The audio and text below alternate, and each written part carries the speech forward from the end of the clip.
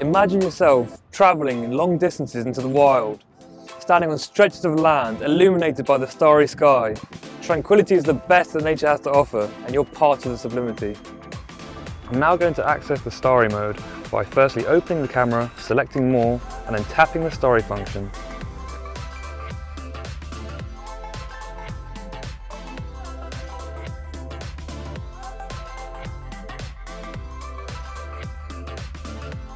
The new starry mode preserves the most details of the starry nights, with the highest purity in the image.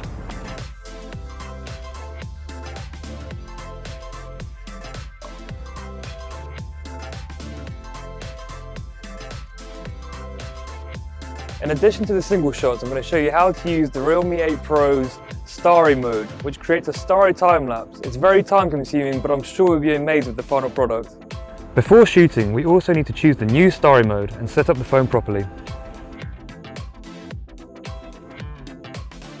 I'm now having the final video on my phone. Let's take a look. This is unbelievable. I can see the movement of every single star clearly and the image is smooth.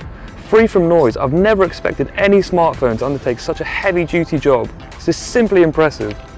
Starry mode has certain requirements for the environment. We recommend that you go to a place far from the city without light pollution to shoot.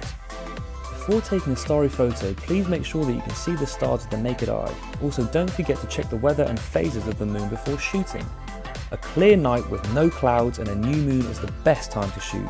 And because of the long shooting time, be sure to use a tripod for shooting. Starry mode requires a lot of patience, but the results are absolutely stunning. Let's enjoy some of the Realme 8 series star time-lapse videos below.